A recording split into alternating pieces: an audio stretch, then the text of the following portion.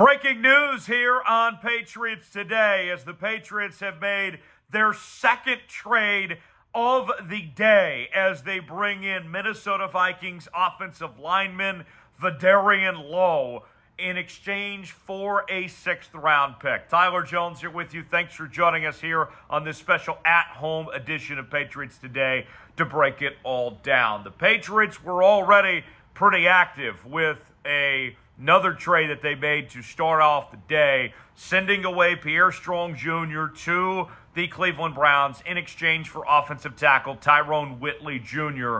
Uh, there. And now you make this move to bring in Lowe, uh, giving up the uh, pick that we mentioned, sixth round pick. The Patriots are loading up on this offensive line. They are trying to find all the help they can get. Look, we've talked about it a lot over the last several weeks on this channel. The offensive line has been a serious issue for New England, and they needed help. And then to make matters worse, uh, worse, what happened on Friday night when Riley Reiff went down, it was full on panic mode for the New England Patriots. The numbers showed that the Patriots in the preseason had some guys that were pretty good at pass blocking, but the run blocking was just horrible, just horrid and they needed to do something. They couldn't stay content with what they had. Didn't matter if it was Mac Jones, if it was Bailey Zappe, Trace McSorley, Malik Cunningham.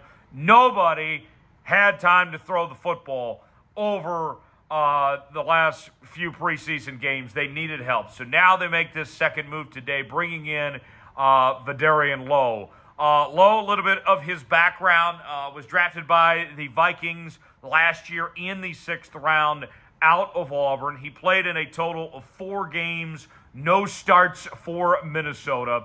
Uh, his grades that he graded out, according to Pro Football Focus, included an overall grade of 35.1, a pass block grade of 63.3, and a run block grade of 44.1.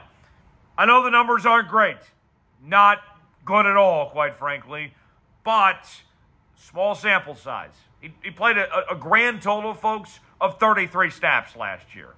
Uh, had two penalties called on him, didn't allow any sacks, did allow a hit, one pressure allowed.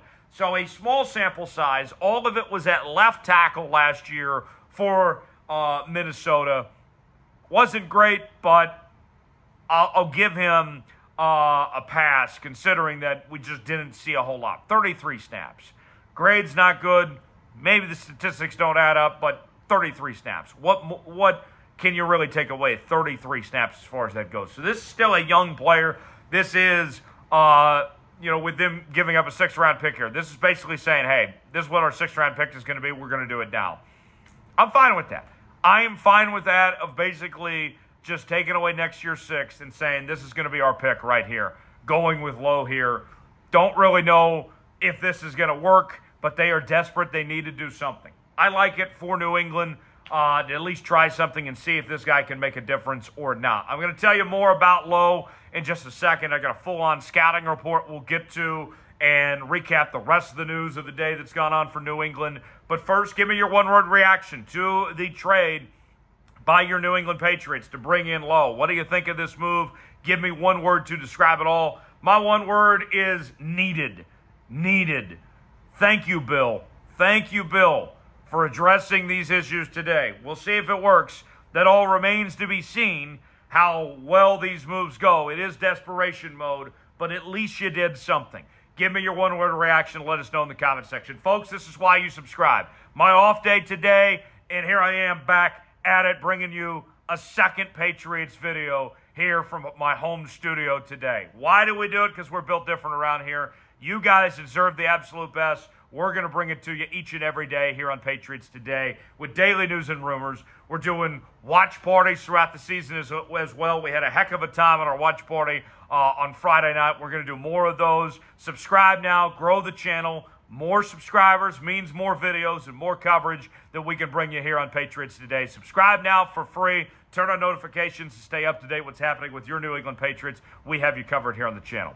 All right, uh, more on Lowe. We mentioned the sixth round pick last year out of out of uh, Illinois.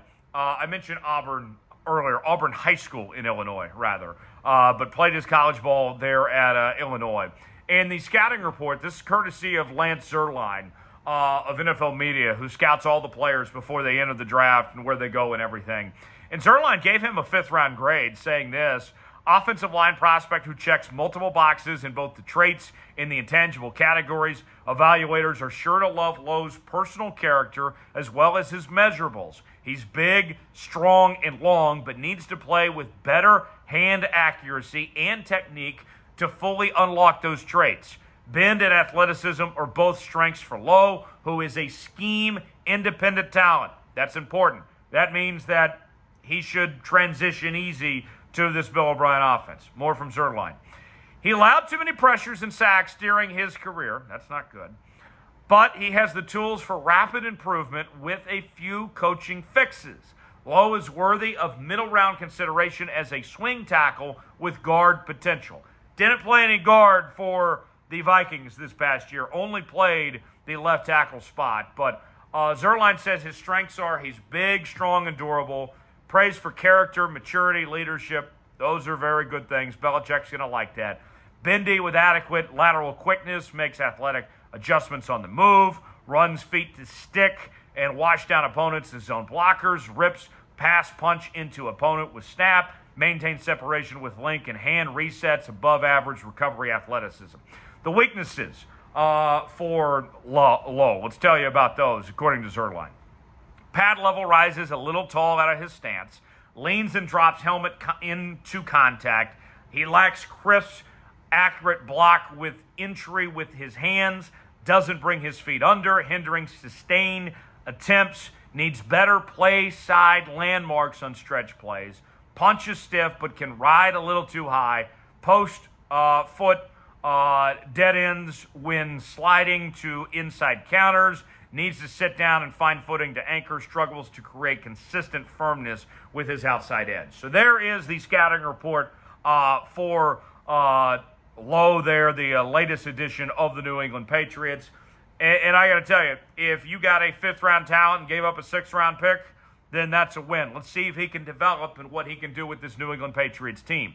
The other moves today, we mentioned the trade of bringing in Tyrone uh, Wheatley Jr., uh, giving up Pierre Strong Jr., the running back. Now you have two more tackles uh, who are both going to make the 53 man roster. You don't make these moves late in the ball game unless they are guys that are going to be on the 53 man roster. So I expect Lowe uh, and Wheatley to be on that roster when that's announced on Tuesday.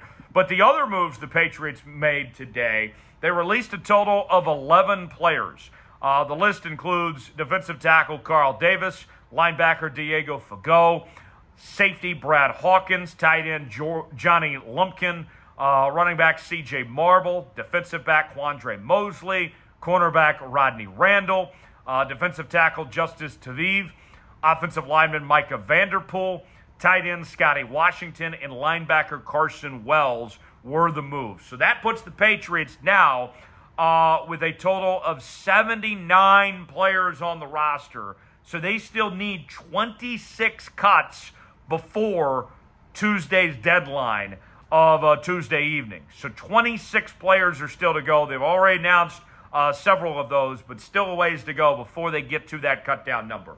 Look, to kind of wrap it up of what we saw today with these moves the Patriots made, bringing in Lowe uh, with the trade that they made uh, just now, as well as the trade for Wheatley. These were aggressive moves by the Patriots. They needed to do something. It does reek desperation, but it's better than nothing. I like the moves of what Belichick put together uh, for New England to go ahead and go through with this um, and, and, move forward this direction. I think these these were smart moves uh, that were for immediate needs that you desperately needed to take care of. You were not going to be okay with going what you had with. Now we wait and see what the Patriots do next and narrow down this roster. I'll say this: I know that there's been a lot of criticism for Belichick uh, of some of the decisions that he has made over the last couple years, and a lot of question marks with how he's drafted. But I will say, Belichick, whether you like the moves or not, the effort's there. They're trying to put something out there, trying to be competitive. Will it work? We shall see. But it's not a lack of trying, I'll put it that much. Uh, how would you grade this uh, trade for the Patriots? What do you think of this trade? A, B, C, D, or F? the trade that the Patriots put together? Let me know in the comment section. Subscribe to the channel for more Patriots coverage. I'll be back in studio tomorrow with the latest what's happening leading up to cut down day. We're going to be covering here the next couple days on the channel. Stay alert, stay tuned for that. I'm Tyler Jones. Follow me on Twitter at Tyler Jones Live. I'll see you next time here on Patriots Today.